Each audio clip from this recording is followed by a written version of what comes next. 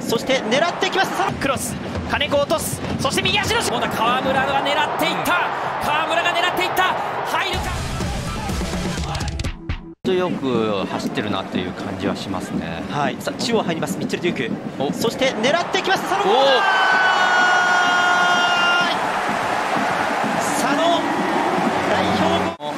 まあ落としも丁寧でしたし、はい、しっかりこうゴールを見てニアサイド。キーパーの位置を見てしっかり切り込んでいきましたね。そしてここでタイムアップの笛。なんとかマイボールをキープするのが精一杯。さあ右サイド。ドリブル突破がある。吉永。クロス。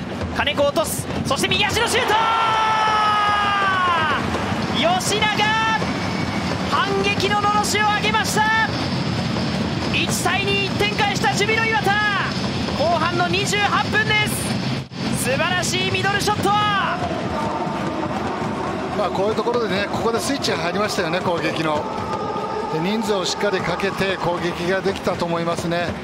まあ非常にこうワンバウンドするボールでちょっと体勢崩した中でしっかりとこう振り抜いたシュート素晴らしかったと思いますね。無回転ですよね、えー、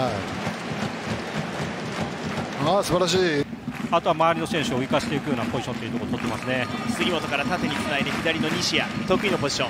西谷仕掛けて中に切り込んでシュートきた追加点を挙げました徳島。前半40分。西谷和樹23試合ぶりのゴールが生まれました。と、まあ、タイミングっていうのも良かったですし、まあ、少しぶれてるような感じでしたかね。ええ、中に切り込んで右足、こぼれ球の回収作業を数多くすればその自分たちのペースになりますからね。はい、竹富内に返す松田天馬振り返ってシュートだ先制点は松田キャプテンの一撃。J12 年ぶりのゴールは6ポイントマッチのゴールです。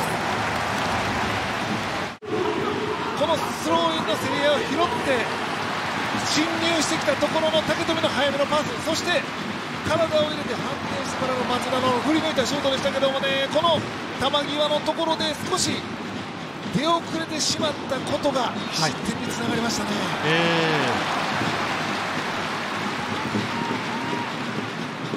京都が先制。そしてアディショナルタイムに入って一層ボルテージが上がったのは広島サポーター河村が狙っていった。河村が狙っていった。入るか？入るんだ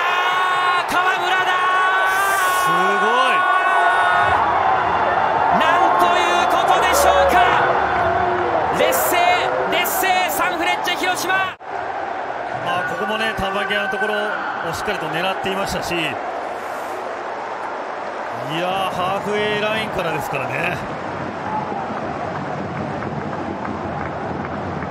いやすごいですね。